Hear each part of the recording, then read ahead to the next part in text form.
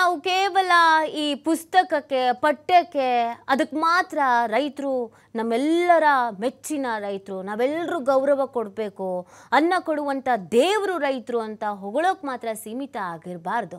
ಅವರನ್ನು ನಡೆಸಿಕೊಳ್ಳುವಂಥ ರೀತಿ ನೀತಿಗೂ, ಅವರಿಗೆ ಗೌರವ ಕೊಡುವಂಥದ್ದಕ್ಕೂ, ಎಲ್ಲದಕ್ಕೂ ಕೂಡ ಸೀಮಿತವಾಗಿರಬೇಕು. ಪಾಪ, ನೋಡಿ ಅವರ ಭಾಷೆಗೆ ಚಂದ. ಅವರ ಹಾಕುವಂಥ ಉಡುಗೆ ತೊಡುಗೆಗೆ ಚಂದ. ಅದಕ್ಕೆ ನೀವು ಹೊರಗಡೆ ನಿಲ್ಲಿಸ್ತೀರಾ? ಯಾವುದೋ ಯಾವುದೋ ಬರ್ಡೇ ಪಾರ್ಟಿ ನಡೀತಾ ಇತ್ತಂತೆ, ಅದಕ್ಕೆ ಇವ್ರು ಈ ಥರ ಬಟ್ಟೆ ಹಾಕ್ಕೊಂಡು ಬರಬಾರ್ದು ಅಂತ ಹೊರಗೆ ನಿಲ್ಲಿಸಿದ್ರಂತೆ ಯಾವುದೋ ಬರ್ಡೇ ಪಾರ್ಟಿಗೂ ಇವ್ರು ಹಾಕ್ಕೊಂಡು ಬರೋ ಬಟ್ಟೆಗೂ ನಿಮ್ಮ ಒಳಗೆ ಪ್ರವೇಶ ಬಿಡ್ಲಿಕ್ಕೂ ಏನು ಸಂಬಂಧ? ನನಗೆ ಅದು ಅರ್ಥ ಆಗದೆ ಇರೋ ಪ್ರಶ್ನೆ. ನೀವೇನಾದರೂ ಬೇರೆ ಗ್ರಹದಿಂದ ಇಳಿದು ಬಂದಿರುವಂಥ ಸೆಕ್ಯೂರಿಟಿನ ಈ ಗ್ರಹದವ್ರಲ್ವಾ ಈ ಗ್ರಹದವರೇ ಆಗಿದ್ರೆ ನಮ್ಮದು ಭಾರತ. ಭಾರತದ ಒಂದು ಸಂಸ್ಕೃತಿ ಇದೆ. ನಾವಿರೋದು ಕರ್ನಾಟಕದಲ್ಲಿ. ಕರ್ನಾಟಕದಲ್ಲಿ ಒಂದು ಸಂಸ್ಕೃತಿ ಇದೆ. ರೈತರು ಇದೇ ಥರದ ಬಟ್ಟೆ ಹಾಕ್ಕೊಂಡು ಬರ್ತಾರೆ. ಇದು ಚೆನ್ನಾಗೇ ಗೊತ್ತಿರತ್ತೆ ನಿಮಗೆ? ಇದು ಗೊತ್ತಿದ್ದು ಯಾಕೆ ಒಳಗೆ ಬಿಟ್ಟಿಲ್ಲ ಅಚಾನಕ್ಕಾಗಂತೂ ಈ ಘಟನೆಗಳಾಗಿದ್ದಲ್ವಲ್ವಾ? ನೀವು ಎಂತೆಂಥವ್ರನ್ನೋ ಒಳಗಡೆ ಬಿಡ್ತೀರಾ? ಆದರೆ ಇಂಥವ್ರನ್ನ ಯಾಕೆ ಒಳಗಡೆ ಬಿಡಲ್ಲ? ಪುಕ್ಷಟ್ಟೆ ಅಂತೂ ಖಂಡಿತ ಬಿಡಲ್ವಲ್ಲ. ಹರಿದೋಗಿರೋ ಬಟ್ಟೆನೇ ಹಾಕ್ಕೊಂಡು ಬಂದ್ರು ದುಡ್ಡಿಸ್ಕೊಂಡೆ ತಾನೇ ಎಲ್ಲಾನು ಕೊಡೋದು. ಅವ್ರು ಫಿಲಮ್ ನೋಡೋಕೆ ಹೋಗ್ಬೇಕು ಅಂತಂದ್ರೂ ದುಡ್ಡು ಕೊಡಲೇಬೇಕಲ್ವಾ? ಪುಕ್ಷಟ್ಟೆ ಅಂತೂ ಅಯ್ಯೋ ಪಾಪ ಹರಿದೋಗಿರೋ ಬಟ್ಟೆ ಹಾಕೊಂಡ್ಬಂದಿದ್ದಾರೆ ಅಂತ ಏನಾದ್ರು ಪುಕ್ಷಟ್ಟೆ ಅಲ್ಲಿ ಸಿನಿಮಾ ತೋರಿಸ್ತೀರಾ? ಇಲ್ಲ ಅಲ್ಲ? ಒನ್ ಟು ಡಬಲ್ ಬ್ಲೇಡ್ ಹಾಕಿ ಟಿಕೆಟ್ ಕೊಟ್ಟು ನೀರು ಬಾಟ್ಲು ಒಳಗಡೆಯಿಂದ ತಗೊಂಡು ಹೋಗಂಗಿಲ್ಲ, ಒಳಗಡೆನೇ ತಗೋಬೇಕು ಅಂತ ಹೇಳಿ, ಒಂದು ಬಿಸ್ಕೆಟ್ ಬಿಸ್ಕೆಟ್ ಪ್ಯಾಕು ಹೊರಗಡೆಯಿಂದ ತಗೊಂಡು ಹೋಗಂಗಿಲ್ಲ, ಒಳಗಡೆನೇ ತಗೋಬೇಕು ಅಂತ ಹೇಳಿ ಒಂದು ಐವತ್ತು ರೂಪಾಯಿ ಬಿಸ್ಕೆಟ್ ಪ್ಯಾಕಿಗೆ ಒಂದು ಐನೂರು ರೂಪಾಯಿ ಕಿತ್ತು, ಇದೆಲ್ಲ ಚೆನ್ನಾಗಿ ಮಾಡ್ತೀರಾ ತಾನೆ? ದಾಂತಲೆ. ವಸೂಲಿ ಚೆನ್ನಾಗಿ ಮಾಡ್ತೀರಾ ತಾನೆ? ಅಂದಮೇಲೆ ಯಾವ ಬಟ್ಟೆ ಹಾಕೊಂಡು ಬಂದರೆ ಏನು ಪ್ರಶ್ನೆ, ಏನು ಸಮಸ್ಯೆ ನಿಮಗೆ? ಎಸ್, ಇನ್ನೊಬ್ರು ಕರೆ ಮಾಡಿದ್ದಾರೆ, ನಮಸ್ತೆ. ಹಲೋ. ನಮಸ್ತೆ ಮಾತಾಡಿ. ಟಿವಿ ವಾಲ್ಯೂಮ್ ಕಡಿಮೆ ಮಾಡಿ ಮಾತಾಡಿ. ಹಾ ಮೇಡಮ್. ಹಾ ಮೇಡಮ್. ಹೇಳಿ.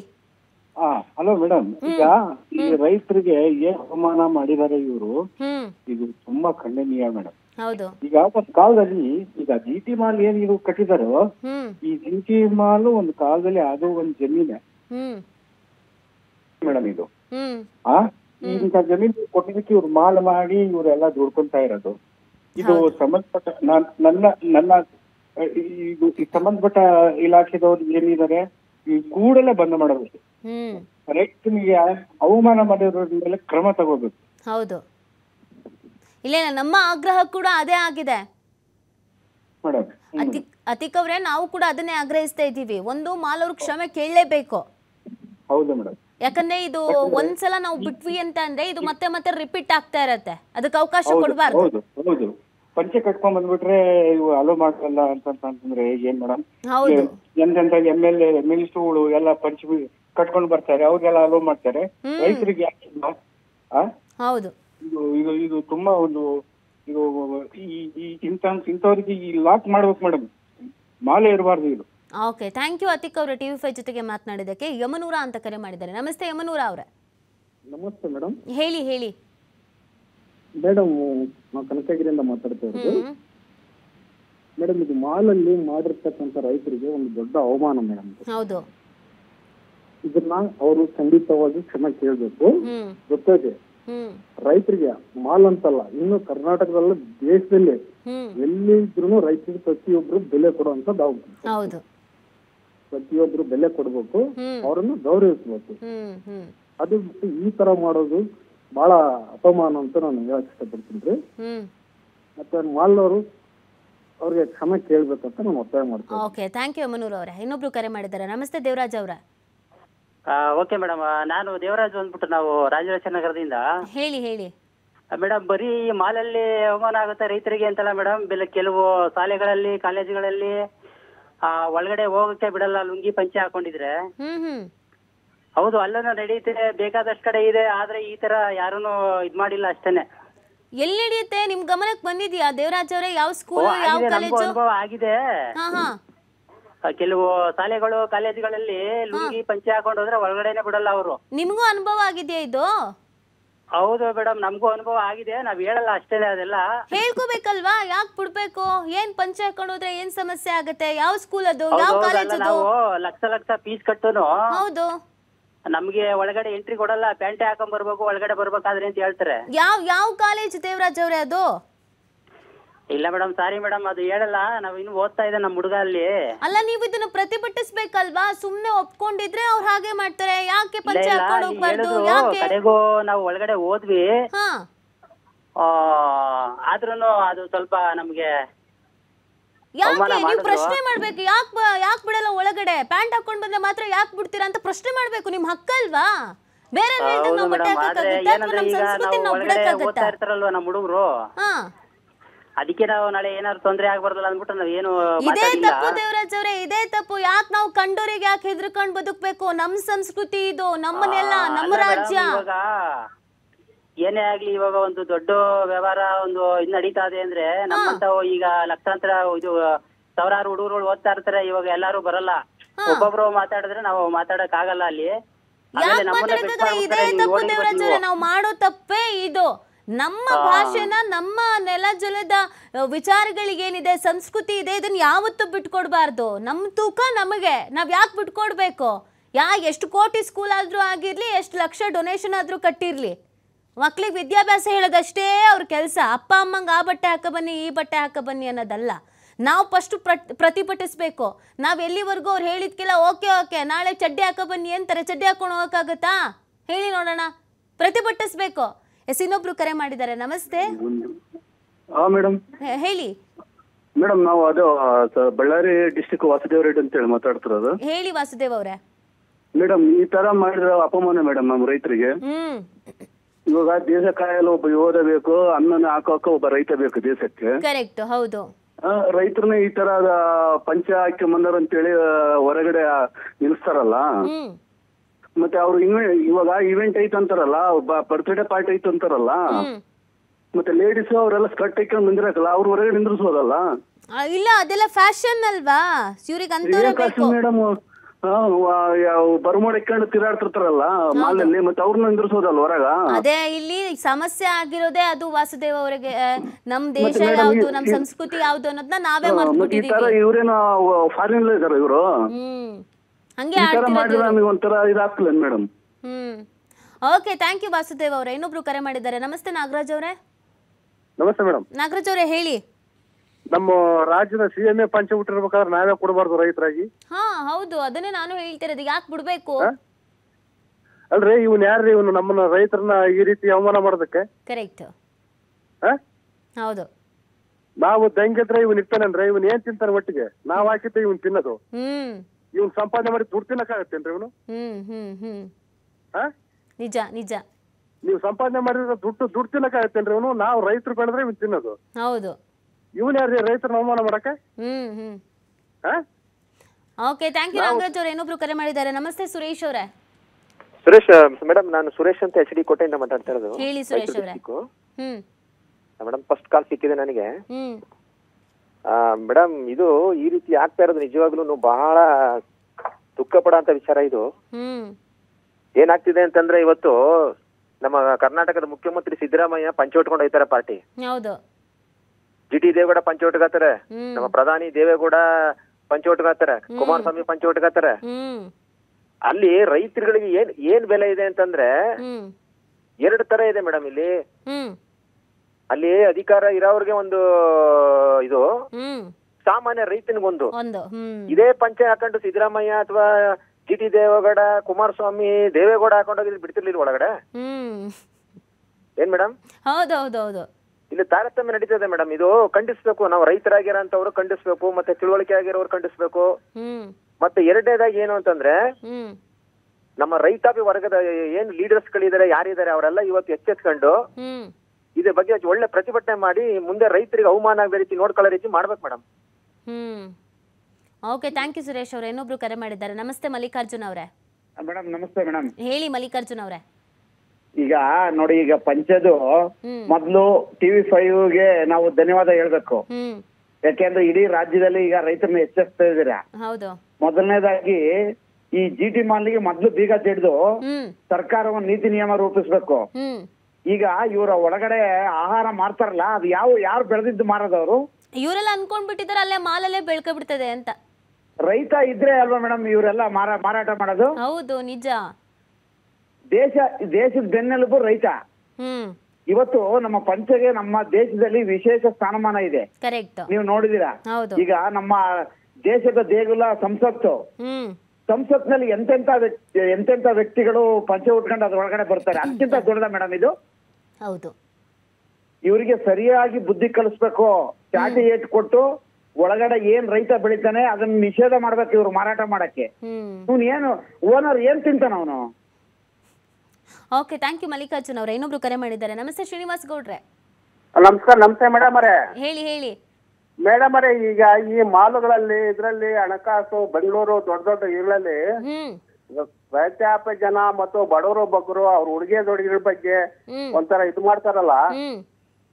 ಇದ್ರ ಬಗ್ಗೆ ಏನಾದ್ರು ಸರ್ಕಾರ ಆಗ್ಲಿ ಅಥವಾ ಜನ ಆಗ್ಲಿ ಸಂಘ ಸಂಸ್ಥೆಗಳಲ್ಲೂ ಎತ್ತಿ ಎತ್ತಿಟ್ಕೊಬೇಕು ಅವಮಾನ ಮಾಡೋದು ಇದು ರೈತರನ್ನಾಗ್ಬೋದು ಬಡವ್ರನ್ನಾಗ್ಬೋದು ಅವ್ರ ಉಳಿದ ತಡೆಗಳಿಗೆ ಹ್ಮ್. ಬೆಲೆನೇ ಅಲ್ವಾ ಅದೇ ಅದೇ. ಅದನ್ನೇ ನಾವು ಪ್ರಶ್ನೆ ಮಾಡ್ತಿದ್ದೀವಿ. ಇನ್ನು ಎಷ್ಟಂತ ಅಂತ ಸಹಿಸ್ಕೋಬೇಕು? ಇದಕ್ಕೆಲ್ಲ ಒಂದು ಕಡಿವಾಣ ಹಾಕ್ಲೇಬೇಕು ಅಂತ ನಾವು ಆಗ್ರಹಿಸ್ತಾ ಇದ್ದೀವಿ. ರಾಜಕಾರಣಿಗಳಿಗೊಂದು ಹಣವಂತರಿಗೊಂದು ಇವರು ವೇಷಭೂಷಣಗಳು ಕೆಲವು ಹೆಣ್ಮಕ್ಳು ವಿಚಿತ್ರವಾಗಿ ಬರ್ತಾರೆ ಮೇಡಮ್ ಅವರೇ. ಆ ಹಣಕಾಸು ಇದ್ರೆ ಅವ್ರಿಗೆ ಒಂಥರ. ಹೌದು. ಬಡವ್ರ ಬಗ್ಗೆ ಒಂಥರ. ಕರೆಕ್ಟ್ ಇದನ್ನೆಲ್ಲ ಸ್ವಲ್ಪ ಖಂಡನೆ ಮಾಡಬೇಕು. ಇದನ್ನ ನಾವು ಖಂಡಿಸ್ತೀವಿ.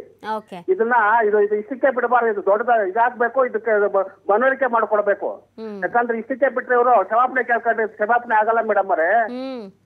ಇಷ್ಟಕ್ಕೆ ಬಿಟ್ಬಿಟ್ರೆ ಇವರು ಅಷ್ಟಕ್ಕೆ ಮಾಡ್ಕೊಂತಾರೆ. ಇನ್ನೊಬ್ರು ಇನ್ನೊಬ್ರು ದಾರಿ ಆಗುತ್ತೆ.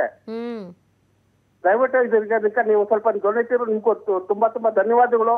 ಜೊತೆಗೆ ನಾನು ಹೇಳ್ತೀನಿ ಇಡೀ ಭಾರತ ದೇಶದ ಹಿಂದೂ ಹಿಂದೂ ಸಂಸ್ಕೃತಿಗೆ ಆಗ್ಬೋದು ಯಾರೇ ಆಗ್ಬೋದು ಜನಗಳೇ ಬಡ ಜನಗಳಿಗೆ ಆಗ್ಬೋದು ಎಲ್ಲರೂ ಎಲ್ಲರೂ ಇದನ್ನ ಎಚ್ಚೆತ್ತುಕೊಂಡು ಇದನ್ನೆಲ್ಲ ವಿವರಿಸಬೇಕು ನಿಮ್ಮ ನಿಮ್ಮ ಈ ಮೂಲಕ ನಿಮ್ಮ ವಾಹಿನಿಗೆ ನಾನು ಧನ್ಯವಾದಗಳು ಹೇಳ್ತೀನಿ. ಒಳ್ಳೆ ಕೆಲಸ ಮಾಡಿದ್ದೀರಿ. ಯಾಕಂತಂದ್ರೆ ಶ್ರೀಮಂತರಿಗೆ ಒಂದು ಈ ಮಾಲ್ಗಳಲ್ಲಿ ಬಡವ್ರಿಗೊಂದು ತರ ಓಕೆ ಥ್ಯಾಂಕ್ ಯು ಶ್ರೀನಿವಾಸ್ ಅವರೇ. ಎಸ್ ಎಲ್ಲ ಮಾಲ್ ಜಿ ಟಿ ಮಾಲ್ ಅವರು ಇವತ್ತು ರೆಡ್ ಹ್ಯಾಂಡ್ ಆಗಿ ತಗ್ಲಾಕೊಂಡಿದ್ದಾರೆ. ಅದನ್ನು ಹೊರತುಪಡಿಸಿ ಯಾವುದೇ ಮಾಲ್ ಆಗಿರ್ಬೋದು, ಯಾವುದೇ ಮೆಟ್ರೋ ಸ್ಟೇಷನ್ಗಳಾಗಿರ್ಬೋದು ಯಾವುದೇ ಬೆಂಗಳೂರಿನಲ್ಲಿರುವಂಥ ಎಲ್ಲೇ ದೇಶದ ಯಾವುದೇ ಮೂಲೆಯಲ್ಲಿರುವಂಥ ಮಾಲ್ಗಳಾಗಿರ್ಬೋದು ಅಥವಾ ಅಂಗಡಿಗಳಾಗಿರ್ಬೋದು, ಏನೇ ಆಗಿರ್ಬೋದು ಶಾಪಿಂಗ್ ಮಾಲ್ಸ್ಗಳಾಗಿರ್ಬೋದು ಒಂದನ್ನು ಗಮನದಲ್ಲಿ ಇಟ್ಕೊಳ್ಳಿ.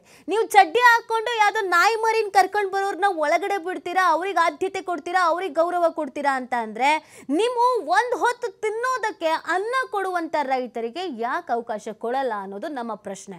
ನೋಡಬೇಕು ಅಥವಾ ಹೇಳಬೇಕು ಅಂತಂದರೆ ನೀವು ರೈತರಿಗೆ ಪರ್ಸೆಂಟೇಜ್ ಫ್ರೀ ಅಂತ ಕೊಡಬೇಕು ಫಿಲಮ್ ಟಿಕೆಟ್ ಫ್ರೀನೇ ಅಂತಲೇ ಮಾಡಿ.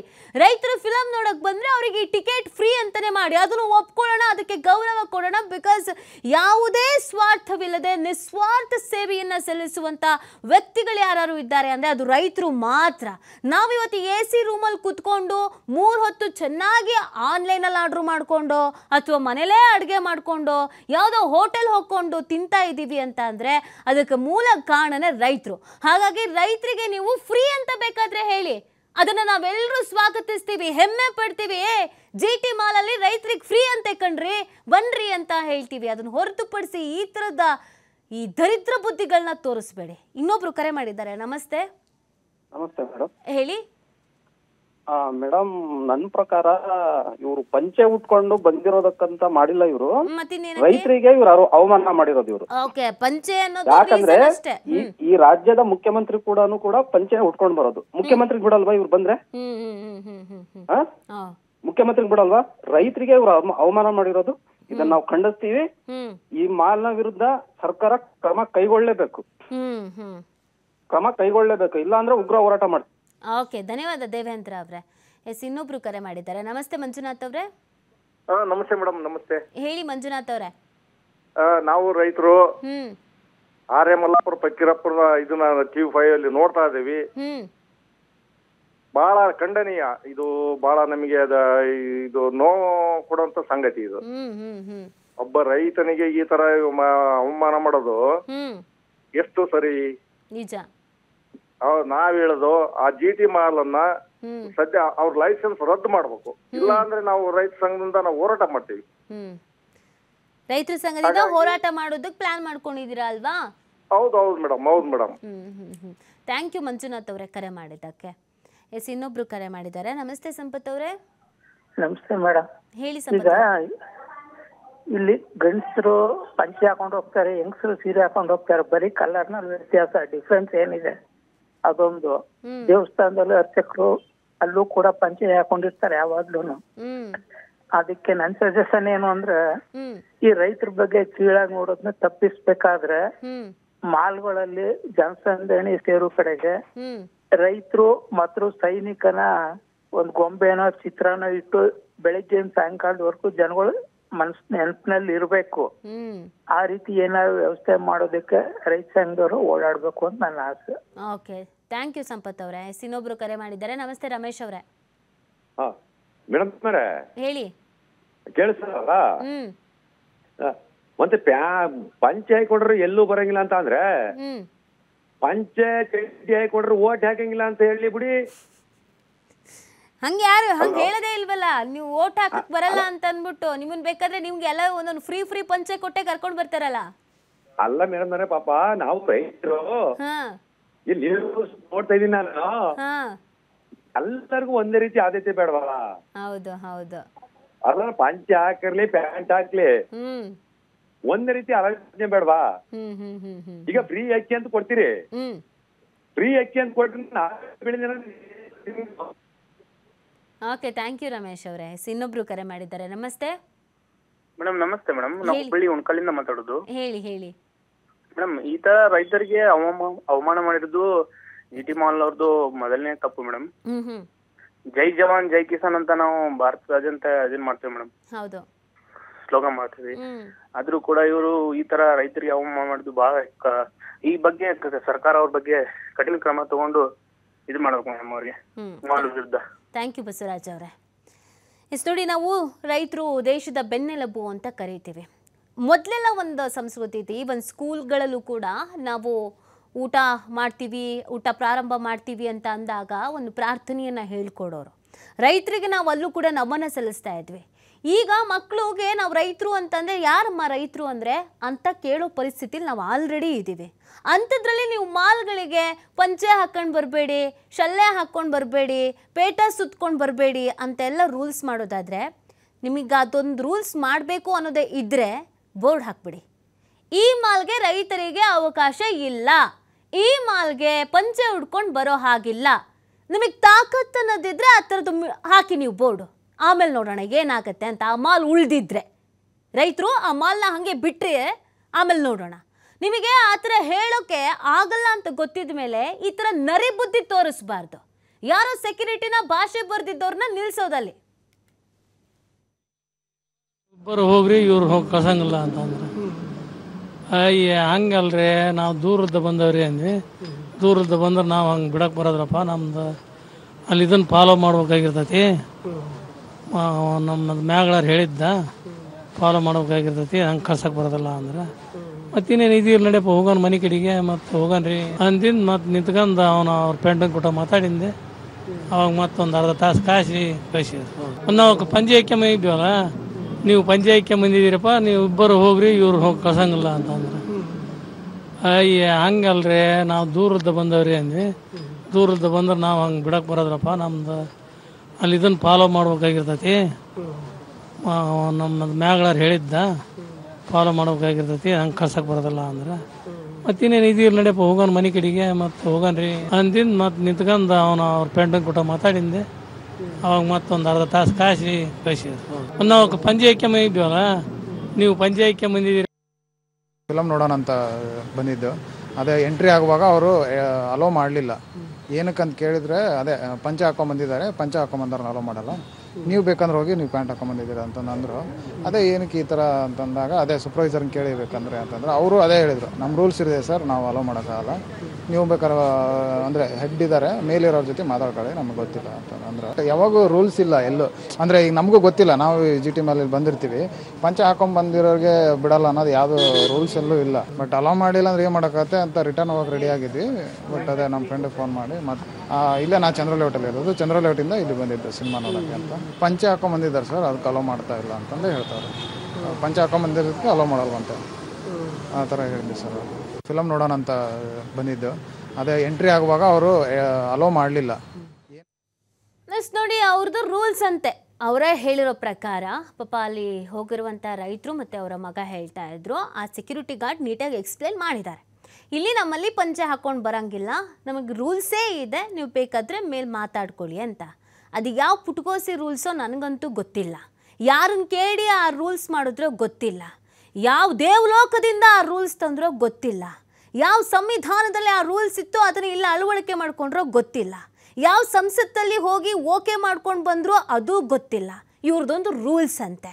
ನೋಡೋಣ ಅದೇನು ರೂಲ್ಸು, ಅದು ಯಾರು ಹಾಕಿದ್ದಾರೆ ಆ ರೂಲ್ಸು ಯಾರ ಅಪ್ಪ ಹಾಕಿದ್ದು ರೂಲ್ಸು ಅದೆಲ್ಲ ಕೇಳೋಣ. ಇನ್ನೊಬ್ರು ಕರೆ ಮಾಡಿದ್ದಾರೆ. ನಮಸ್ತೆ. ನಮಸ್ತೆ ಮೇಡಮ್ ಹೇಳಿ. ಮೇಡಮ್ ನಾವು ಅನಿತಾ ಅಂತ ಇಲ್ಲ ಬೆಂಗಳೂರು ಲಗ್ಗೆರೆಯಿಂದ ಮಾತಾಡ್ತಾ ಇರೋದು. ಹೇಳಿ ಅನಿತಾ ಅವರೇ. ನಾವು ವಾರ್ತೆಯಲ್ಲಿ ಇವಾಗ ನಾವು ಚಾನಲ್ ನೋಡ್ತಾ ಇದೀವಿ ಇದು ತುಂಬಾ ಅವ್ರ ರೈತರಿಗೆ ತುಂಬಾ ಅವಮಾನ ಮಾಡಿದಾರೆ ಮೇಡಮ್ ಅವ್ರ ಮಣ್ಣಿನ ಮಕ್ಕಳಾಗಿ ಇನ್ನೊಬ್ರು ರೈತರಿಗೆ ಈಗ ರೈತರು ಬೆಳೆದ್ರೇನೆ ನಾವು. ಹೌದು. ರೈತರು ರೈತರು ಪ್ರತಿಯೊಂದು ಬೆಳೆದ ಅಕ್ಕಿ ಬೆಳೆ ಎಲ್ಲಾ ಬೇಕು ಅವರಿಗೆ. ಅವ್ರೊಂದ್ ಮಾಲಿಗೆ ಸೇರ್ಸಲ್ಲ ಅಂದ್ರೆ ತುಂಬಾ ಅವಮಾನ ಮಾಡಿದಾರೆ ಮೇಡಮ್. ತುಂಬಾ ಅವ್ರ ಬಡವ್ರು ಇದು ಅಂದ್ಬಿಟ್ಟು ಈ ತರ ಒಬ್ಬರನ್ನ ಯಾವ್ದೇ ಆಗ್ಲಿ ಮನುಷ್ಯನ್ ಬಟ್ಟೆ ನೋಡಿ ಅಳಿಬಾರ್ದು. ಅವ್ರ ವ್ಯಕ್ತಿ ಅವ್ರ ಗುಣ. ಎಲ್ಲ ನೋಡಿ ಇದ್ ನೋಡ್ಬೇಕು ಮೇಡಮ್. ತುಂಬಾ ಅವ್ರ ಕ್ಷಮೆ ಕೇಳಲೇಬೇಕು ಮೇಡಮ್. ಇದು ರೈತರಿಗೆ ಫುಲ್ ಈಗ ಅವ್ರೊಬ್ರು ರೈತರು ಅಂತ ಎಲ್ಲಾ ಇಡೀ ಕರ್ನಾಟಕನೇ ನೋಡ್ತಾ ಇರ್ತಾರೆ ಈ ಚಾನಲ್ ಹ್ಮ್. ಅದು ಎಲ್ಲಾರ್ಗು ಅವಮಾನ ನಾವು ರೈತರು ಮಕ್ಳೆ ಮೇಡಮ್ ಹಳ್ಳಿಯಿಂದ ಬಂದು ಬೆಂಗಳೂರಲ್ಲಿ ಸೆಟ್ಲ್ ಆಗಿರೋದು ನಾವು ತುಂಬಾ ಅವಮಾನದ ವಿಷಯ ಮೇಡಮ್ ಅವ್ರಿಗೆ. ಓಕೆ. ಥ್ಯಾಂಕ್ ಯು ಅನಿತಾ ಅವರೇ. ಎಸ್ ನೋಡಿ ಪ್ರತಿಯೊಬ್ಬ ರೈತರು ಅಥವಾ ಇವತ್ತು ಪ್ರತಿಯೊಬ್ಬ ರೈತರ ಮಕ್ಕಳು ಕೂಡ ಬೇಸರವನ್ನೇ ವ್ಯಕ್ತಪಡಿಸೋದು. ಯಾಕಂದರೆ ನಾವು ಬರೀ ಪಠ್ಯಪುಸ್ತಕದಲ್ಲಿ ಮಾತ್ರ ರೈತರ ಬಗ್ಗೆ ಇಷ್ಟೆಲ್ಲ ಹೊಗಳುತ್ತಾ ಇದ್ದಿದ್ದನ್ನ ಕೇಳಿಸ್ಕೊಳ್ತಿದ್ವಾ? ಇದೆಲ್ಲ ಬರ ಬರೀ ನಾಟಕನ ಅನ್ನೋ ಪ್ರಶ್ನೆ ನಮಗೆ ಮೂಡ್ತಾ ಇದೆ. ನಿಜವಾಗ್ಲೂ ಈ ಮಾಲವರು ಕ್ಷಮೆ ಕೇಳಲೇಬೇಕು ಮತ್ತು ಸ್ಟ್ರಿಕ್ಟ್ ಆದಂಥ ಆ್ಯಕ್ಷನನ್ನು ಇದಕ್ಕೆ ಸಂಬಂಧಪಟ್ಟಂತೆ ತೆಗೆದುಕೊಳ್ಳಲೇಬೇಕಾಗತ್ತೆ ಎಸ್ ಇನ್ನೊಬ್ರು ಕರೆ ಮಾಡಿದ್ದಾರೆ. ನಮಸ್ತೆ. ಹಲೋ ನಮಸ್ತೆ ಮೇಡಮ್. ಹೇಳಿ ಹೇಳಿ. ನಾನು ಹಾವೇರಿ ಜಿಲ್ಲೆಯಿಂದ ಮಾತಾಡ್ತಾ ಇದ್ದೀನಿ. ಹೇಳಿ. ಈ ಪಂಚೆ ಅನ್ನೋದು ಇದು ನಮ್ಮ ದೇಶದ ಸಂಸ್ಕೃತಿ ಇದು. ಈ. ಸಂಸ್ಕೃತಿನ ಬಿಟ್ಟು ಇರೋದಾಗಲ್ಲ ನಾವು. ಮೇಡಮ್ ಫಸ್ಟ್ ಹೌದು. ಆ ಮಾಲ್ನ ಒಂದ್ ಐದು ವರ್ಷ ಬಂದ್ ಮಾಡೋದು ನನ್ನ ಅಭಿಪ್ರಾಯ. ಬಂದ್ ಮಾಡ್ಬೇಕು ಅನ್ಸುತ್ತೆ ಹ್ಮ್. ಕ್ಷಮೆ ಕೇಳೋದಷ್ಟೇ ಅಲ್ಲ ಆ ಆ ಮಾಲನ್ನ ಒಂದ್ ಐದ್ ಒಂದ್ ಐದು ವರ್ಷ ಬಂದ್ ಮಾಡಿದ್ರೆ ಬಹಳ ಒಳ್ಳೇದ್ ಅನುಕೂಲ ಆಗ್ತದೆ. ಯಾಕಂದ್ರೆ ರೈತ ಬೆಳೆದದ್ದನ್ನೇ ಅವ್ರು ಕೂಡ ಬೆಳೆದ್ರು. ರೈತ ಬೆಳಿಲಿಲ್ಲ ಅಂದ್ರೆ ಏನೂ ನಾವು ಮಾಲ್ನಲ್ಲಿ ಮಾರಾಟ ಮಾಡೋದಾಗಲ್ಲ ಫಸ್ಟ್ ಇದನ್ನ ಆ ಮಾಲ್ನವ್ರು ತಿಳ್ಕೋಬೇಕು ಫಸ್ಟ್ ಅದು ಮೂರ್ಖತನದ ಪರಮಾವಧಿ ಅದು. ಮಾಲ್ನವ್ರದ್ದು ಕ್ಷಮೆ ಕೇಳೋದಷ್ಟಲ್ಲ ಒಂದ್ ಐದು ವರ್ಷ ಬಂದ್ ಮಾಡೋದು ಬಹಳ ಒಳ್ಳೇದು ಆ ಮಾಲ್ನ. ನನ್ನ ಪ್ರಕಾರ. ಥ್ಯಾಂಕ್ ಯು ಪ್ರಕಾಶ್ ಅವರೇ.